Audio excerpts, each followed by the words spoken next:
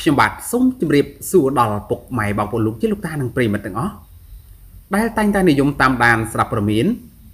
និងចំណេះដឹងផ្សេងផ្សេងតាមសង្គម YouTube ជាទីគោរពនិងជាទីមេត្រី ក្នុងគណៈពេលនេះដែរខ្ញុំបាទមានអត្ថបទព័ត៌មានមួយ ដែលមានចំណងជើងថាឥតខ្ចោះរូបភាពស្អាតស្អាតមង្គលការចៅស្រីឯកឧត្តមជាសុផារ៉ាចេញហើយរំលេចទៅដោយការតបតែងផ្កាស្រស់ស្រស់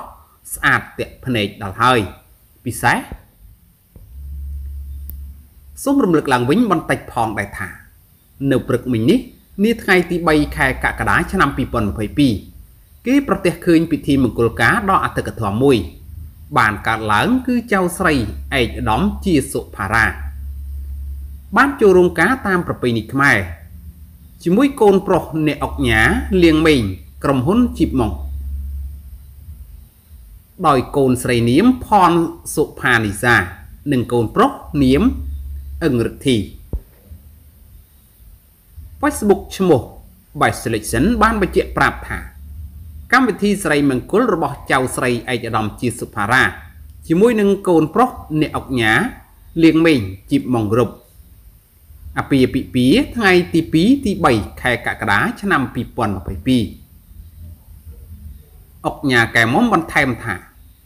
ចូលរួមកម្មវិធីស្រីមង្គលអាពាហ៍ពិពាហ៍ចៅស្រីឯកឧត្តមជាសុផារ៉ា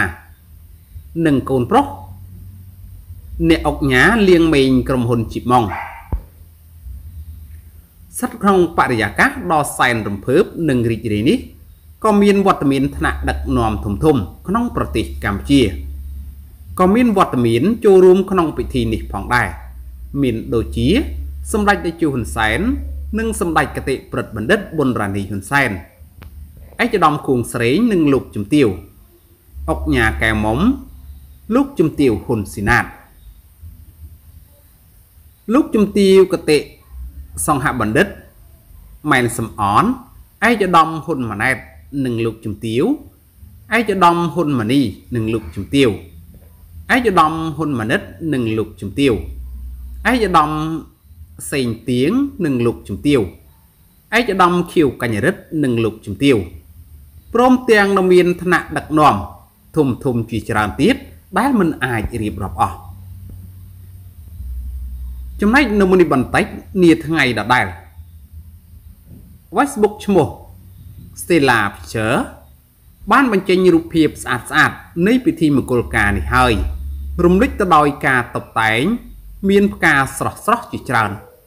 មើលទៅពិតជាអស្ចារ្យឥតខ្ចោះខ្លាំងណាស់បាទហើយអត្ថបទព័ត៌មានដែលខ្ញុំបាទបានជម្រាបជូនខាងលើនេះក៏មានតែប៉ុណ្ណឹងសូមអរគុណសូមជម្រាបលា